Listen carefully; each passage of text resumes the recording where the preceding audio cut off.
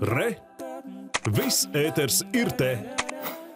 Vienā no Jelgavas bērnu rotaļlaukumiem pēc atjaunošanas ierastais smilšu segums nomainīts ar gandrīz 300 kubikmetriem attīrīts šķeldas. Daudz bērnu vecāki neizpratnē un raizējas, ka mazie varētu savainoties.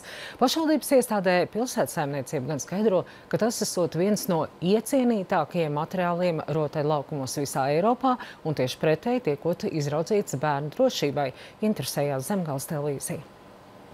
Pagājušā gadsimtā izveidotie bērnu rotaļu laukumi ir nevien morāli novecojuši, bet dažkārt arī kļuvuši bīstami. Tāpēc pirms vairākiem gadiem Jaugavā uzsākta pakāpeniski to atjaunošana. Savu atzimšanu sagaidīs arī bērnu rotaļu laukums Zvaigžņielā. Laukumā uzstādīts moderns aprīkojums 3 līdz 12 gadus veciem bērniem, bet laukuma segumam ierastos milšu vietā uzbērta 30 cm bieza attīrīts šķeldas kārta, kas raisījusi plašas diskusijas.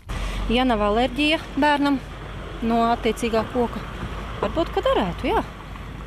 Patīk ļoti, bet vienīgais pašiem mazākiem nav smilškastas. Citas sievietes saka, ka tas ir bīstam maziem bērniem, jā. Es nezinu, tā liekas, ka es svaigai nebija slikti. Sūdzības ir, ka asumiņi, ka var sagriezties mazie, nu, tā kā, nu, tur kaut kāda problēma ir dzirdēts, ka ne visi apmierināti ir kaimiņi. Savus bērnus nesiet veduši? Vedam, Un ko viņi saka? Neko priecīgi, tā jau viss tur forši un jauni agregāti. Un, un, un viss ir, viss ir tā kā pa pirmo zorti, bet, nu jā, sagums tik moderns laikam, ka jāpierod pie viņa mums ir. Aģentūras pilsētas saimniecība pārstāvis skaidro, ka sūdzības no vecākiem jau esot saņemts. Tomēr pretēji vecāku bažām šāds segums, izvērtējot iekārtu augstumu, izvēlēts bērnu drošībai. Jo tās pārsvarā visas ir kāpelēšanai, baiļu pārvarēšanai no augstuma bērniem domātas sākot no 3 un 4 gadiem. Un diezgan augsts tas krišanas augstums ir.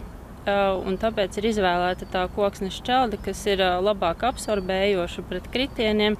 Viņa ir dabīga, neput un arī nesmērēs apģērbu. Tēriem. Ir, protams, dārgāks variants gumijas plāksnes vai tādas pašas gu gumijas gabaliņi, bet tas, protams, nav atbilstoši finansējumam, kāds mums bija domāts šeit.